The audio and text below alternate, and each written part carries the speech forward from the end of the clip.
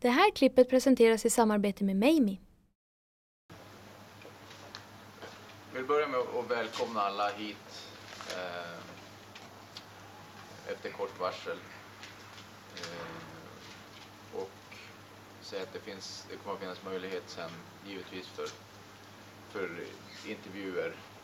Men, eh, men jag vill börja med att lämna över ordet till, till eh, Per här. Tack så mycket. Eh, ja, precis som Marcus sa så är det lite, lite kort varsel, men det var, eh, finns väl en anledning bakom det också. Och, eh, vi ville väl inte att det skulle bli eh, eh, för tidigt släpp eller för mycket läckage. Så, så att, eh, det finns ju spelare som koncentrerat sig på sin säsong och så. så att, eh, vi ber om ursäkt av den anledningen. Men eh, jag har i alla fall idag bekräftat för Marcus bland annat och övriga laget att jag ska sluta spela hockey. Eh, av den anledningen att eh, jag varit sjuk under en, en längre tid och eh, den här hösten har varit tuff eh, medicinskt och eh, till slut har jag fått ordning på det så gott det går med en sån här kronisk sjukdom då som det är. Så att, eh, eh det är väl lite därför eh, därför jag tagit det här beslutet nu också. Eh, den här resan har väl pågått ända sedan, eh, sedan jag fick den här sjukdomen eh, 2007 på hösten. Sen när jag blev frisk och sjuk till och från och förra säsongen var väl tuff både sjukhusmässigt och även spelmässigt och resultatmässigt framförallt från Modos sida. Eh, så då tog vi beslutet tillsammans med Modo, eh, framförallt de läkare som ingår i, i den staben samt eh, specialistläkare på Öviks sjukhus att eh, jag skulle ta en paus från hockeyn och koncentrera mig på att bli frisk och låta medicin och naturen ha sin gång. Och det har väl gjort både sommar och höst eh, med blandat resultat, tyvärr. Men men nu är, jag, nu är jag så kallad frisk från det skov jag haft under en längre tid. Och det känns ju fantastiskt kul. Därför sitter jag sitter här och var lite deppad. Det är kanske inte rätt, men, men eh, nu är jag i alla fall frisk från det och har bestämt mig att det, jag har gjort min sista match. Eh, och som sagt var alla informerade eh, i laget. Modo från Marcus till eh, tränare i omklädningsrummet har varit informerad under resans gång också från, från dag ett eh, på den här säsongen. Så att, eh, de vet ungefär vad de har behövt veta och eh, har haft koll på läget hela tiden så vi har haft en bra dialog. Så att, eh, det är inget beslut som kom som en chock för varken Moda eller för eh, Marcus, Uffe eller Peter. Så, så att, eh, det är bara det att jag hade ju sagt någonstans att förhoppningen för några månader sedan var att kanske spela efter jul men, men eh, eftersom jag inte ens har börjat träna nu och kroppen inte har svarat på medicin som jag hade hoppats under hösten så är det uteslutet. Eh, I stora drag var väl det som eh, vi tänkte berätta. Som Marcus sa, vi svarar gärna på frågor nu och eh, även senare. Så att, jag vill gärna flika in här också. Det är ju en, det är ju en tråkig dag när en, en fantastisk karriär tar slut. Men, men eh, eh, jag vill ändå att vi försöker spegla det som något positivt och att man, man ser innebörden av, av, av att få ta Per under så lång tid i, i Modos organisation och vad han, vad han har präglat den här, eh, den här organisationen på det, på det sätt han eh, uppträder eh, och, och givetvis som den ledare han var, var och fortfarande kommer att vara eh, för alltid för Modo. Eh, som en av två kaptener som, som har vunnit SM-guld för föreningen också. Så att, eh, eh, vi, vi, står i, i, stor skuld, eller skuld är kanske fel ord, men, men det är svårt att, att, att sätta i ord vad, vad Per har betytt för den här föreningen.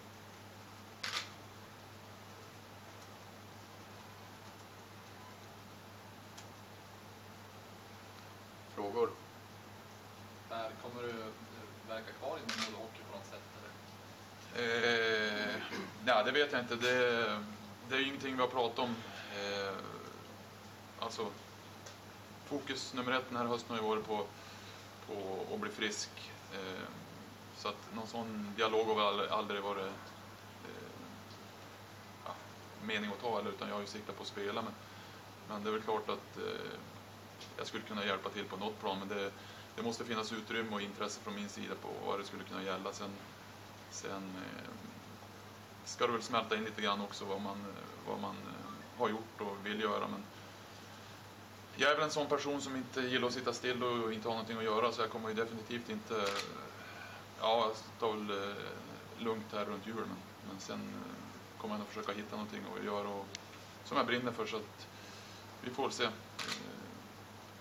jag är ju ungdomstränare för ÖSK så att jag har ju hockeybiten kvar lite grann där.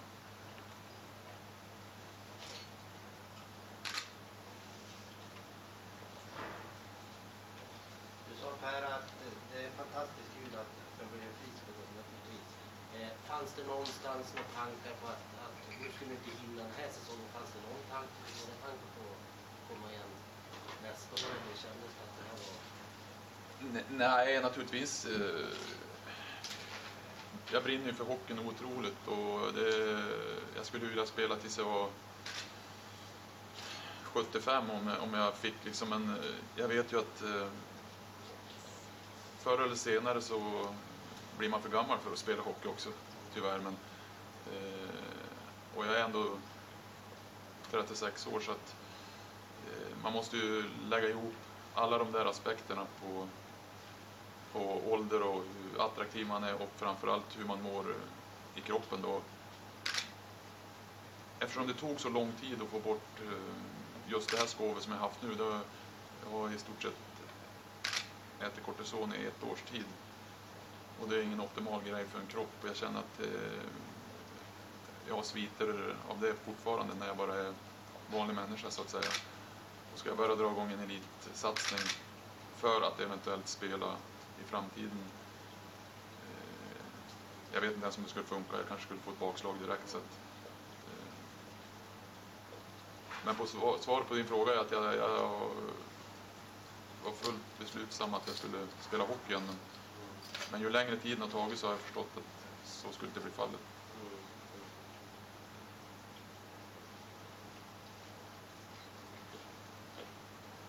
Hur, eh, hur mår du idag? Nej, som jag sa, alltså nu är jag det är en kronisk sjukdom och de som har den här sjukdomen vet eh, hur tufft det kan vara när det är som värst. Eh, de som har det vet också att det skiljer från person till person som de flesta sjukdomar. Men men eh, jag kan säga att jag lider med de som har det och jag hoppas att eh, alla får samma behandling som jag har fått här uppe på sjukhuset. Eh, och eh, allting har varit väldigt, väldigt bra från alla inblandade. Både Modos läkare och medical team och från sjukhus här uppe så att säga.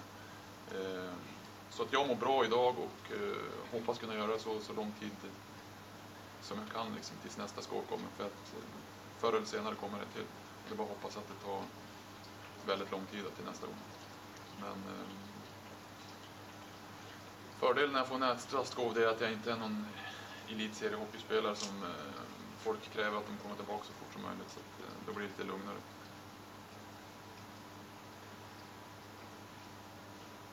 Vad säger du då Marcus? Har du, har du gått under hösten och hoppats på, i och för sig har ju ni fått information om läget och sådär, men innerst inne har, har du hoppats på? Jag har väl varit ganska realistisk eh, med den dialog jag haft med Per och förstått att det skulle vara eh, kanske ett långskott att han, att han skulle komma tillbaks. Eh, men eh, sen är det klart att det, det blir ett stort tomrum när han kliver ur. Det, det är inget snack om det. Eh, och eh, försöker, hoppas ju att, att många andra försöker ta ansvar för det och, och fylla upp eh, efter det tomrum som han, han lämnar. Mm. Har du börjat fundera på någonting eh, om ni, eller hur ni skulle, om ni skulle kunna använda honom på något sätt framöver eller? Ja, jag, jag eh, hoppas ju verkligen att vi kan eh, komma överens om något som, som funkar och, och känns bra för, och inspirerande för båda parter. För att eh, eh jag ser Per som person som en, en, en stor resurs eh, i en, vad han än tar sig för. Och, eh, eh känner han att, att eh, det skulle funka och, och att vi får behålla honom i Modo Hockey i någon utsträckning så, så är det ju ett, en riktig boost, känner jag personligen.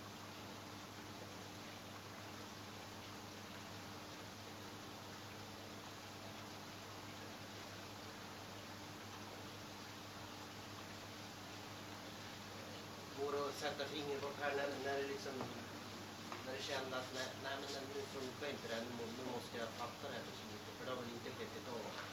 Nej, naturligtvis inte, men eh, och det finns ingen dag heller som man liksom kan säga utan eh, det var som jag sa, när jag fick den här sjukdomen 2007 då visste jag inte så mycket om det även fast eh, jag har den i släkten så att säga. Eh, men då lever man i nuet och eh, jag hade nyss vunnit SM-guld och livet eh, lekte liksom. Och då kände man sig ju eh, odödlig på något sätt. Eh, sen när man får tillbaka det med jämna mellanrum under årens gång så har man väl funderat mer eller mindre och, och eh, man har läst om, om andra människor och vissa spelare som har haft det också. Så har man väl förstått att, att en dag kanske det blir definitivt. Och framförallt när vi tog det här beslutet att jag inte skulle dra igång i somras då, då eh, det är väl klart man tänker både fram och tillbaka, även om man inte vill tänka det värsta. Men eh, det är ju som alla andra beslut man ska ta så att eh, det gäller att tänka igenom dem. Och, men det är väl, vad ska jag säga, senaste månaden kanske det har blivit mer påtagligt då att det är inte så stor chans att jag kan börja hårdträna igen som behövs för den här nivån. Det är ju, det är ju liksom det som är stora grejen.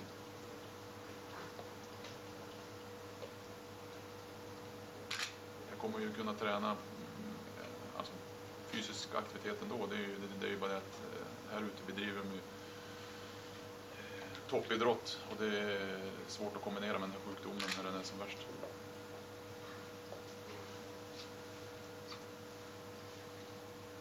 Det kanske är svårt att prata om, om roliga grejer alltså, en sån här gång när du sitter och berättar det på slutet. Men du fick i alla fall SM-guld och du fick ju en trevlig sista match också. Ja, jag är jättetacksam för eh, allt jag varit med om. Alltså, det är svårt. Eh, eh, alltså när man spelar tänker man inte så mycket på vilka människor man möter, eller vilket lag man spelar eller på vilken nivå man är. Men, men, eller vilka framgångar eller vilka framgångar man missar. Men, eh, alltså SM-guld, det kommer ju vara en stor grej. Eh, ja, framförallt för, för man har inte drömt om det så, men man har ju sett modematcher sedan man var eh, tio år gammal. Och eh, på den tiden drömde man ju om eh, att vinna i Kempehallen, men av någon anledning så byggde de en ny arena och det var, var ju ganska bra. Och att vi vann första året var ju, det var ju liksom en, en grym saga hela den. Så att eh, jag har bara egentligen positiva minnen från, från min karriär så. Eh, börjar man grotta för mycket hittar man naturligtvis när man har varit sämre och ur form och ifrågasatt och förlorat finaler och eh, blivit nedskickad och lite så här. Men det hör till spelet och oftast lär man sig någonting av det också så att det har liksom en läroperiod för att ta nästa steg i karriären eller i livet. Så att jag kommer att komma ihåg mest är säkert eh, alla, alla tränare och spelare man haft som eh, man har umgåtts med dagligen och haft kul och mindre kul med men, men det är kontakter som man har med sig resten av livet.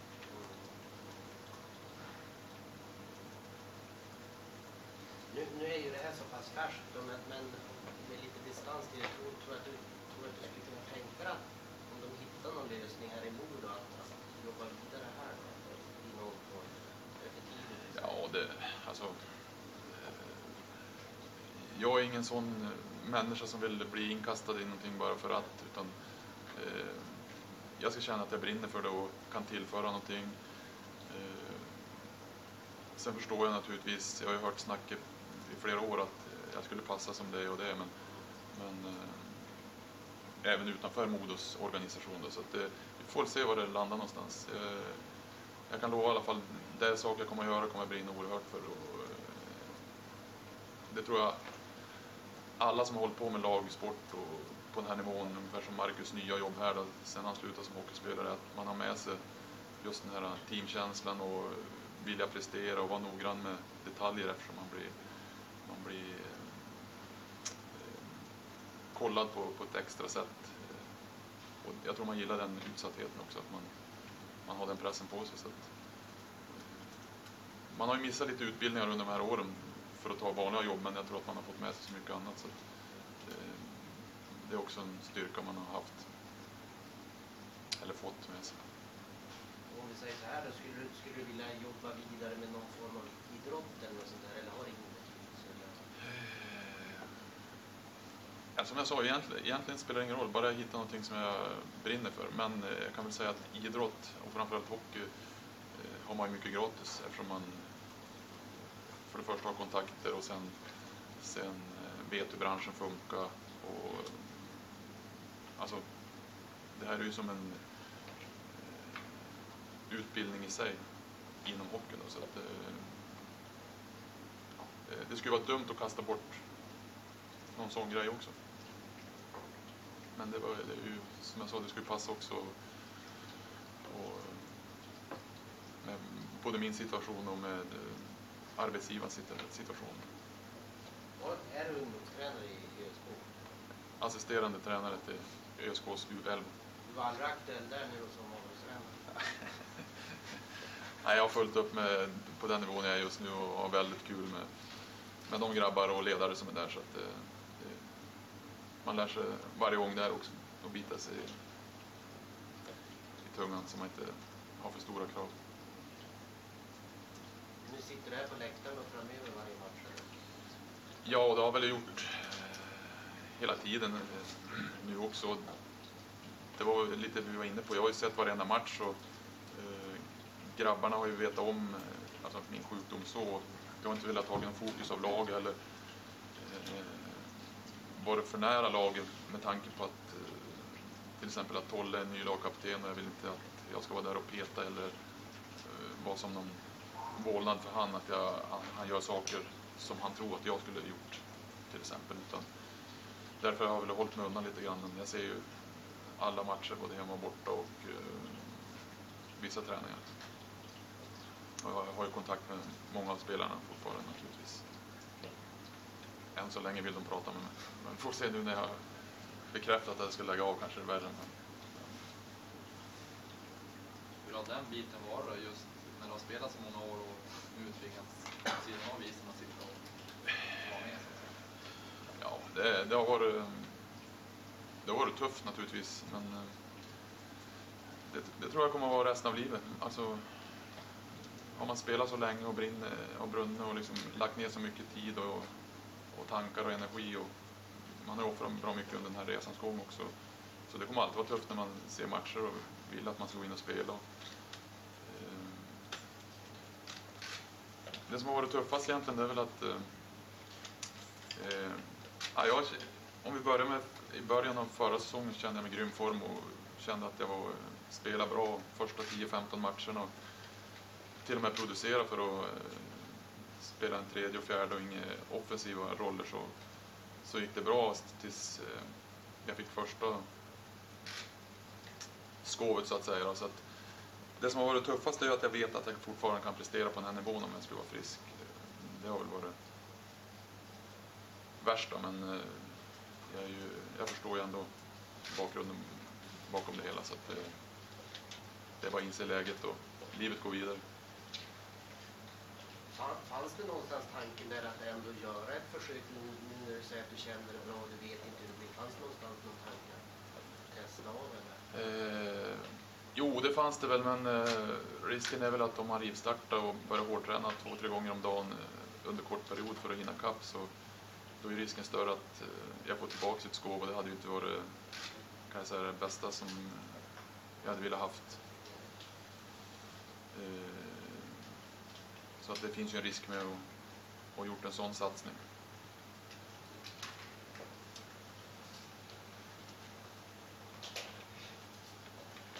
Jag provade ju några gånger i fjol att spela med, med, med det här och det, det slog väl inte så väl ut eftersom jag fick tillbaka det hela tiden. Så att, eh, jag har ju lite erfarenhet och i bagaget från förra säsongen då hur jag inte ville att må liksom. Det blir naturligtvis jobbigare när du är uppe i alltihopa naturligtvis. Ja, visst är det så. Men, eh, men eh, alltså, jag förstår läget. Jag, jag är inte ledsen eller besviken så, utan eh, jag försöker se positivt och hitta nya, hitta nya banor hela tiden och nya idéer och tankar och, för att gå vidare. Det, det är väl så man har fungerat som både människa och hockeyspelare. Det är väl så man är uppfostrad lite grann. Att, eh, man gör en dålig match och man tycker att man är urusel och sen det gäller ju liksom att skapa positiva bilder och gå vidare. Det är inte så ofta man får hjälp med det utan det får du jobba med själv. Så är det ju i livet också. Det är det jag menar att om man varit elitidrottare har man mycket vunnet.